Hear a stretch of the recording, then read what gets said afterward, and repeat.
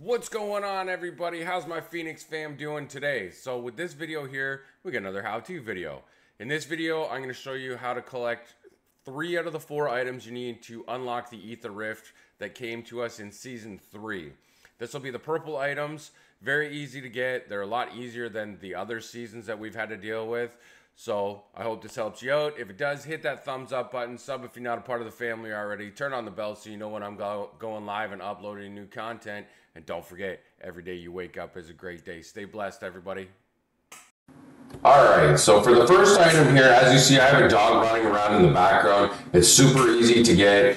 You have to get a Merc Sergeant kill with a dog. You can get it in game or bring a dog bone in with you. It doesn't matter. But when you do that, it'll give you your purple laptop with stickers. The second one we got here is down at I-7 in the mansion.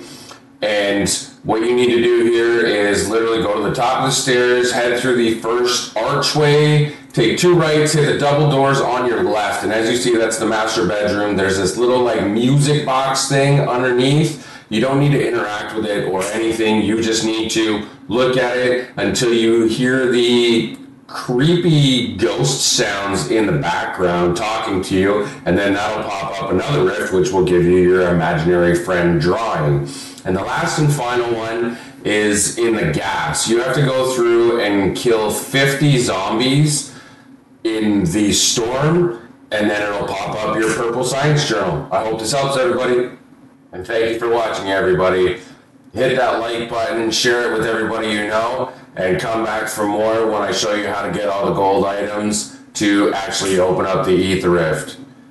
Stay blessed, everybody, and don't forget, every day you wake up is a great day.